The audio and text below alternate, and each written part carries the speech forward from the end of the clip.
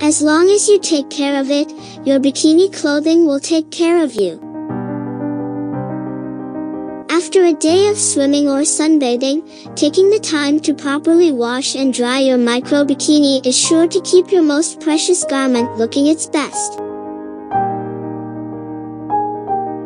Remember, an ounce of prevention is worth a cure, and when it comes to swimwear, an ounce of prevention is worth a lot of cure.